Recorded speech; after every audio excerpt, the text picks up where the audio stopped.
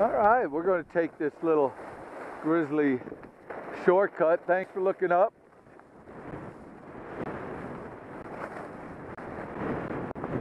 Oh, the Grizz is open. Ooh. Have to look into that one.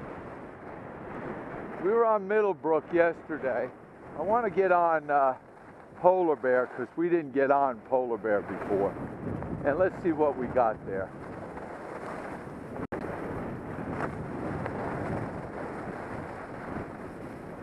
Hopefully we'll get a little better visibility once we get off the knuckle right up on top here.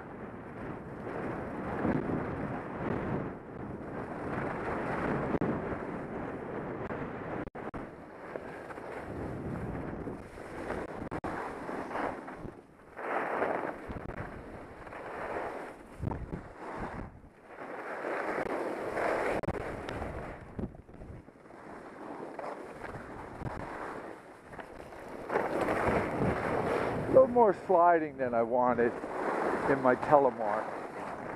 But I can always go into parallel as a safeguard, but I'm trying to really work on my telemark. So the snow here is really nice. Very nice. Visibility is a little tough. That's the only thing I can say. Got to roll that knee over to open up the front. Got course, sitting back there. I'm going to talk to myself as I'm doing this, guys. So, kind of listen up. Look at this. I'm going to get freshies right here on the right side.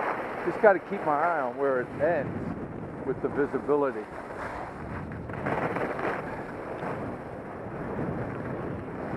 So yesterday we had a great day.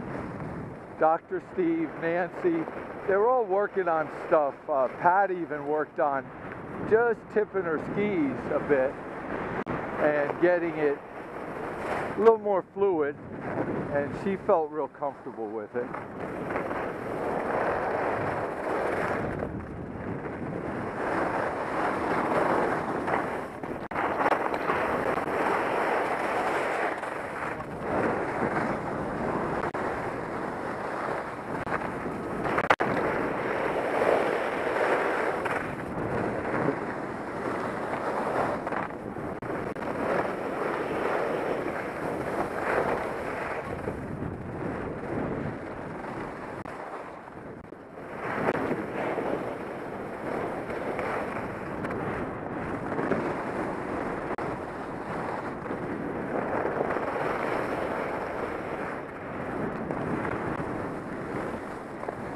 All right. So uh, polar bear and a little bit of sun coming out. Once again, still trying to break through here at Stratton. Did I say the snow is delightful? I mean delicious. And that's coming from an old fat man. This snow is hero snow today. You can do no wrong.